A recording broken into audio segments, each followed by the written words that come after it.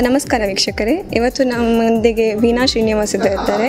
ಅವರು ಕಾವಿಕಲೆ ಎಂಬ ಆರ್ಟ್ ಫಾರ್ಮನ್ನು ಪ್ರಸಿದ್ಧಿಯಾಗಿದ್ದಾರೆ. ಸೊ ಆ ಆರ್ಟ್ ಫಾರ್ಮ್ ಬಗ್ಗೆ ಹೇಗೆ ಮಾಡ್ತಾರೆ, ಅದರ ಬಗ್ಗೆ ತಿಳ್ಕೊಳ್ಳೋಣ ಈಗ. ನಮಸ್ಕಾರ. ಕಾವಿಕಲೆ ಇದು ಹದಿನಾರನೇ ಶತಮಾನದಲ್ಲಿ ಗೋವಾದಲ್ಲಿ ಹುಟ್ಟಿದ್ದು ಕಲೆ. ಇದು ಪ್ರತಿಯೊಂದು ಸಾರಸ್ವತ್ ಟೆಂಪಲ್ಸ್ ಸಾರಸ್ವತ್ ಮನೆ ಮಠಗಳಲ್ಲಿ ಆ ಟೈಮ್ನಲ್ಲಿ ಮಾಡ್ತಾಯಿದ್ರು ಆದರೆ ವರ್ಷ ಹೋದ ಹಾಗೆ ಹೊಸ ಹೊಸ ಆರ್ಟ್ ಫಾರ್ಮ್ ಬಂದ ಹಾಗೆ ಈ ಆರ್ಟ್ ಫಾರ್ಮನ್ನು ಜನರು ಮರೆತರು. ಮುಂಚಿನ ಕಾಲದಲ್ಲಿ ನಿಮಗೆ ಸೀಶೆಲ್ಸ್ ಸಿಗುತ್ತಲ್ಲ? ಅದನ್ನು ಒಟ್ಟು ಮಾಡಿ, ಅದರಿಂದ ವೈಟ್ ಲೈನ್ ಪಡೆದುಕೊಂಡು ಅದನ್ನು ಬೆಲ್ಲದ ಅಂಟು, ಮತ್ತು ಮರಳು ಇದನ್ನೆಲ್ಲ ಕೊಳೆ ಹಾಕಿ ನುಣುಪಾಗಿ ರುಬ್ಬಿ ಸುಣ್ಣವನ್ನು ತಯಾರಿಸ್ತಿದ್ರು. ಈ ಸುಣ್ಣದ ಲೇಪನ ಗೋಡೆ ಮೇಲೆ ಮಾಡಿ, ಮತ್ತೆ ಅದಕ್ಕೆ ಅವರು ಕೆಂಪು ಮಣ್ಣನ್ನು ಬೆರೆಸಿ ಒಂದು ಲೇಪನ ಮಾಡ್ತಿದ್ರು. ಅದು ಕಂಪ್ಲೀಟ್ ಡ್ರೈ ಆಗಬಾರ್ದು ಕಂಪ್ಲೀಟ್ ವೆಟ್ ಇರು ಇರಬಾರ್ದು. ಇನ್ ಬಿಟ್ವೀನ್ ಪ್ರೋಸೆಸ್ನಲ್ಲಿ ಒಂದು ಶಾರ್ಪ್ ಆದ ಇನ್ಸ್ಟ್ರೂಮೆಂಟಿಂದ ಎಚ್ ಮಾಡ್ತಿದ್ರು. ಆವಾಗ ಮೇಲಿನ ಕೆಂಪು ಬಣ್ಣ ಹೋಗಿ ಒಳಗಿಂದ ಬಿಳಿ ರೇಖೆಗಳು ಮೂಡಿ ಬರ್ತಿದ್ವು. ಮತ್ತೆ ಇಪ್ಪತ್ನಾಲ್ಕು ಗಂಟೆಗಳ ಕಾಲ ಬಿಟ್ಟು ಪ್ರತಿ ನಾಲ್ಕು ಗಂಟೆಗೆ ಒಂದು ಸತಿ ನೀರನ್ನು ಸಿಂಪಡಿಸಿ what we call us curing ಒಂದು ವಾರದ ತನಕ ಮಾಡ್ತಿದ್ರು. ಸೊ ಆದ್ದರಿಂದ ಇವತ್ತಿಗೂ ಆ ಟೈಮ್ನಲ್ಲಿ ಮಾಡಿದ ಕಲೆಗಳನ್ನು ನಾವು ಕೆಲವು ಟೆಂಪಲ್ಸ್ನಲ್ಲಿ ನೋಡ್ಬೋದು. ಆದರೆ ಇವತ್ತಿನ ದಿನಕ್ಕೆ ಇದು ನಮಗೆ ಲೇಟ್ ಕೃಷ್ಣಾನಂದ್ ಕಾಮತ್ರ ಬುಕ್ನಲ್ಲಿ ಸಿಗ್ತದೆ ವಿವರಣೆಗಳು. ಆದರೆ ಅದು ಇವತ್ತಿನ ದಿನಕ್ಕೆ ನಮಗೆಲ್ಲ ಮಾಡಲಿಕ್ಕೆ ಬರುವುದಿಲ್ಲ ಸೊ ಈ ಕಲೆಯನ್ನು ಹೇಗೆ ಉಳಿಸಬೇಕು ಅಂತ ನನಗೆ ಆಲೋಚನೆ ಬಂದಾಗ I resorted to the newer methods acrylic ಮೇಲೆ ಅದು ಇದು ಕ್ಯಾನ್ವಾಸ್ ಮೇಲೆ ಆದರೆ ಆ್ಯಕ್ರಿಲಿಕನ್ನು ಬಳಸ್ಕೊಂಡು ಪೇಪರ್ನ ಮೇಲೆ ಆದರೆ ವಾಟರ್ ಕಲರ್ ಬಳಸ್ಕೊಂಡು ಮಾಡ್ತೇನೆ. ಸೊ ಈಗ ನಮ್ಮ ಹಿಂದೆ ಈಗ ಒಂದು ನಿಮ್ಮ ಮಾಸ್ಟರ್ ಪೀಸ್ ಉಂಟು ಕಾಲಚಕ್ರ. ಓಕೆ ಕಾಲಚಕ್ರ. ಇದ್ರ ಬಗ್ಗೆ ವೀಕ್ಷಕರಿಗೆ ಸ್ವಲ್ಪ ಮಾಹಿತಿ. ಇದು ನಿಮ್ಮ ಮೇಲೆ ಏನು ಕಾಣ್ತೀರಿ? ಅದು ಸೂರ್ಯ. ಸೂರ್ಯನ ಒಳಗೆ ಮಾ ಕೂಷ್ಮಾಂಡ ದೇವಿ ಅವಳು ಸೂರ್ಯನಿಗೆ ದಿಕ್ಕು ತೋರಿಸ್ತಾಳೆ ಅಂತ ಒಂದು ನನಗೆ ಪುಸ್ತಕದಲ್ಲಿ ಅದರ ವಿವರಣೆ ಸಿಕ್ಕಿತ್ತು ಅದು ಒಂಬತ್ತು ರೇಸ್ ಸೂರ್ಯನ ಒಂಬತ್ತು ಶಕ್ತಿಗಳು. ಮತ್ತು ಇದು ಸೂರ್ಯನ ಚಕ್ರ. ಸೂರ್ಯನ ರಥಕ್ಕೆ ಒಂದು ದೊಡ್ಡ ಚಕ್ರ ಅಂತ ಹೇಳ್ತಾರೆ. ಸೊ ಆ ಚಕ್ರದೊಳಗೆ ಹಿಂದೂ ಕ್ಯಾಲೆಂಡರಿನ ಪ್ರಕಾರ ನಮ್ಮ ಒಂದು ಇಡೀ ವರ್ಷ ಯಾವ ರೀತಿಯಲ್ಲಿ ಡಿವಿಷನ್ ಆಗಿದೆ ಅಂತ ಹೇಳ್ತದೆ. ಅಂದರೆ ಈ ಸೆಂಟರ್ ಲೈನ್ ನೀವು ನೋಡಿದರೆ ಮೇಲಿನ ಭಾಗ ಉತ್ತರಾಯಣ, ಕೆಳಗಿನ ಭಾಗ ದಕ್ಷಿಣಾಯನ ಈ ತ್ರಿಕೋನಗಳು ಅಂದರೆ ವೈಟ್ ಟ್ರಯಾಂಗಲ್ಸ್ ಅರವತ್ತಿದೆ. ಅಂದರೆ ನಮ್ಮ ಅರವತ್ತು ಸಂವತ್ಸರಗಳನ್ನು ರೆಪ್ರೆಸೆಂಟ್ ಮಾಡುತ್ತೆ. ಮತ್ತು ನ್ಯೂ ಮುಂಡೆ ಫುಲ್ ಮುಂಡೆ ಈ ಎರಡರ ಮಧ್ಯೆ ಒಂದು ತಿಂಗಳು, ಹಾಗೆ ಹನ್ನೆರಡು ತಿಂಗಳು. ಮತ್ತು ಇದು ಸಿಕ್ಸ್ ಸ್ಪೋಕ್ಸ್ ಏನಿದೆ, ಅದು ನಮ್ಮ ಆರು ಋತುಗಳನ್ನು ತೋರಿ ರೆಪ್ರೆಸೆಂಟ್ ಮಾಡುತ್ತೆ.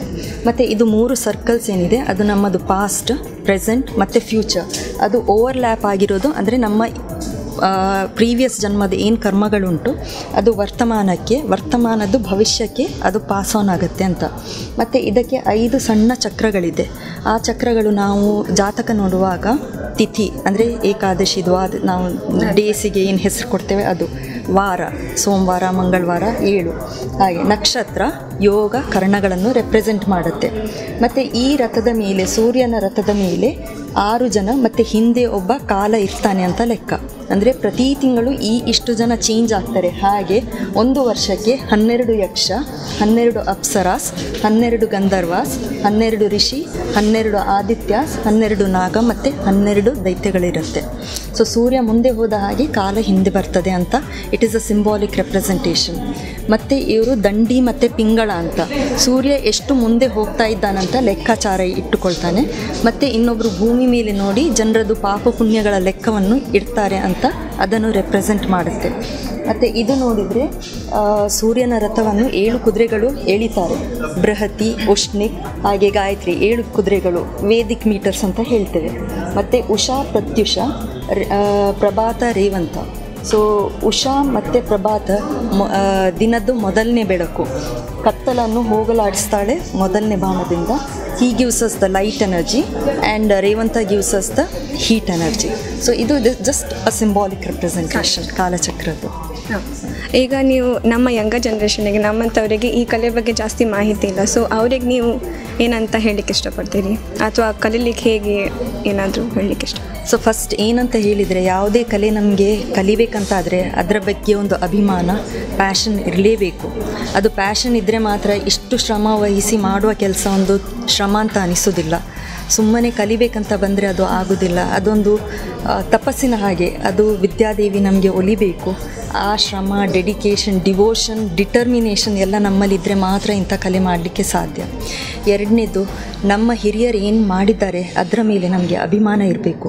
ಯಾಕೆಂದರೆ ಇವತ್ತಿನ ದಿನಕ್ಕೆ ನೀವು ಯಾರ ಹತ್ರ ಆದರೂ ಗೋಡೆ ಮೇಲೆ ಮಾಡಿ ಅಂತ ಹೇಳಿದರೆ ಯಾರಿಗೂ ಮಾಡಲಿಕ್ಕೆ, ಬೇರೆ ಬೇರೆ ಪ್ರೋಸೆಸ್ನಲ್ಲಿ ಮಾಡ್ತಾರೆ. ಆದರೆ ಒರಿಜಿನಲಿ ಹೇಗೆ ಮಾಡ್ತಿದ್ರು ಇಷ್ಟರ ತನಕ ಯಾರಿಗೂ ಅದು ಎಕ್ಸಾಕ್ಟ್ ಪ್ರೊಪೋರ್ಷನ್ ಅಥವಾ ಹೇಗೆ ಮಾಡ್ತಾರಂತ ಗೊತ್ತಿಲ್ಲ. ಸೊ ಯಾವುದು ನನಗೆ ಮಾಡಲಿಕ್ಕೆ ಆಗೋದಿಲ್ಲ, ಅದನ್ನು ತೆಗೆಯುವ ಹಕ್ಕು ನನಗಿಲ್ಲ. ಅದು that is what I think the younger generation and the coming generation should understand what we can't create we have no right to destroy okay ಮತ್ತು, ಎಲ್ಲ ಆರ್ಟ್ ಫಾರ್ಮ್ ಎಲ್ಲರೂ ಮಾಡ್ತಾರೆ, ಆದರೆ ನಮ್ಮ ಈ ಕೋಸ್ಟಲ್ ಬೆಲ್ಟಿಗೆ ಏನು ಯುನೀಕ್ ಆಗಿದೆ ಆ ಆರ್ಟ್ ಅದನ್ನು ಉಳಿಸ್ಕೊಳ್ಳೋ ಜವಾಬ್ದಾರಿ ಬರೀ ಆರ್ಟಿಸ್ಟ್ಗಳದ್ದು ಮಾತ್ರ ಅಲ್ಲ. ಅದು ಜವಾಬ್ದಾರಿ public art lovers temple management ಆಗಲಿ ಅಥವಾ ಸ್ಟೇ ಸ್ಟೇಟ್ ಗೌರ್ಮೆಂಟ್ ಆಗಲಿ, ಅದು ಪ್ರತಿಯೊಬ್ಬರ ಜವಾಬ್ದಾರಿ ಕೂಡ. ಅದೊಂದು ಆರ್ಟಿಸ್ಟ್ ಮಾತ್ರ ಉಳಿಸ್ಬೇಕಂತ ಹೇಳಿದರೆ ನಾನು ಎಷ್ಟು ಉಳಿಸ್ಬಲ್ಲೆ? ಸೊ ಐ ಥಿಂಕ್ ಈ ಬಗ್ಗೆ ಒಂದು ಅವೇರ್ನೆಸ್ ಮತ್ತು ಮಕ್ಕಳಿಗೆ ಇದರ ಬಗ್ಗೆ ಒಂದು ಅಭಿಮಾನ ಹುಟ್ಟಿಸುವಂಥ ಒಂದು ಸಣ್ಣ ಹೆಜ್ಜೆ ಮತ್ತು ಪ್ರಯತ್ನ ನಾವು ಇಡಲೇಬೇಕು. So that is more important ಅಂತ ಅನಿಸ್ತದೆ. ಮ್ಯಾಮ್ ಒಂದು ಲಾಸ್ಟ್ ಕ್ವೆಶನ್ ಈಗ ಮಿಲಾಪ್ ನಿಮಗೆ ಇದು ಆಪರ್ಚುನಿಟಿ ಕೊಟ್ಟಿದ್ದು. ಸೊ ನೀವು ಏನು ಹೇಳಲಿಕ್ಕೆ ಇಷ್ಟಪಡ್ತೀವಿ ಮಿಲಾಪ್ ಸೊ ಫಸ್ಟ್ ಏನಂತ ಹೇಳಿದರೆ ಮಾಹಿ ಮತ್ತು Milap the coordinators the organisers ಅವರಿಗೆಲ್ಲ ನಾನು ತುಂಬ ಹೃದಯದ ಧನ್ಯವಾದವನ್ನು ಅರ್ಪಿಸ್ತೇನೆ. ಯಾಕೆಂದರೆ ಒಂದು ಆರ್ಟ್ ನಾನು ಮನೆಯಲ್ಲಿ ಮಾಡಿ ಇಟ್ಟು ಅಲ್ಲಿ ಬರುವವರು ಒಂದು ನಾಲ್ಕು ಜನ ನೋಡಿ ಬರ್ತಾರೆ. ಆದರೆ ಇಂಥ ಒಂದು ಎನ್ವಿರಾನ್ಮೆಂಟ್ ಅಂದರೆ ಇಷ್ಟೊಂದು ದೊಡ್ಡ ಫೆಸ್ಟ್ ಆಗುವಾಗ ಬೇರೆ ಬೇರೆ ಸ್ಟೇಟಿಂದ ನ್ಯಾಷನಲಿ ಎಕ್ಲೇಮ್ಡ್ ಆರ್ಟಿಸ್ಟ್ ಮತ್ತು ಸ್ಟೂಡೆಂಟ್ಸ್ ಎಲ್ಲ ಬಂದು ನೋಡುವಾಗ ನನಗೆ ಅದು ಅವೇರ್ನೆಸ್ ಕ್ರಿಯೇಟ್ ಮಾಡಲಿಕ್ಕೆ ಇನ್ನೂ ಸಹ ಒಂದು ಅಪರ್ಚುನಿಟಿ ಸಿಗುತ್ತೆ. ಆ್ಯಂಡ್ ಆನೆಸ್ಟ್ಲಿ ನಾನು ಎಷ್ಟು ಒಳ್ಳೆ ರೆಸ್ಪಾನ್ಸ್ ಎಕ್ಸ್ಪೆಕ್ಟ್ ಮಾಡಲಿಲ್ಲ from the students at least of this generation ಆದರೆ ಬಂದವರು ಪ್ರತಿಯೊಂದು ಪೇಂಟಿಂಗ್ ನೋಡಿ, ಅದರ ವಿವರ ಕೇಳೋದು, ಹೇಗೆ ಮಾಡೋದು they are not just seeing and walking off there actually interested so that is what makes me very happy so ಆ ಸಂತೋಷ ನನಗೆ ತೃಪ್ತಿ ತುಂಬ ಉಂಟು. And I am very grateful to MAHE and Mila and all the students including the faculty of architecture who help me arrange everything so thank you thank you so much miss thank you